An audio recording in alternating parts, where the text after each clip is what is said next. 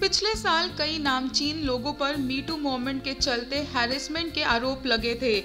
इस मूवमेंट की वजह से कई लोगों को इंडस्ट्री में काम मिलना तक बंद हो गया था। इनमें से एक नाम सिंगर अनु मलिक का भी था, जिन्हें मीटू की वजह से इंडियन आइडल 10 की जज की कुर्सी छोड़नी पड़ी थी। पर एक बार फिर बिना किसी सजा या प्रॉब्लम के इंडियन आइडल सीज़न 11 के लिए अनु मलिक को जज चुन लिया गया है। ये बात उनके खिलाफ हेरेसमेंट के केसेस लगाने वाली सिंगर्स को कुछ ज़्यादा पसंद नहीं आई।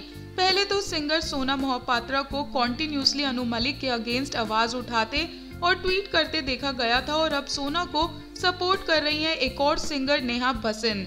नेहा बसिन ने कुछ ट्वीट्स किए हैं जिसमें उन्होंने बताया कि कैसे जब वो 21 साल की थी तो अनु मलिक ने उन्हें अनकंफर्टेबल फील करवाया और वो कैसे वहाँ से झूठ बोलकर निकल गई।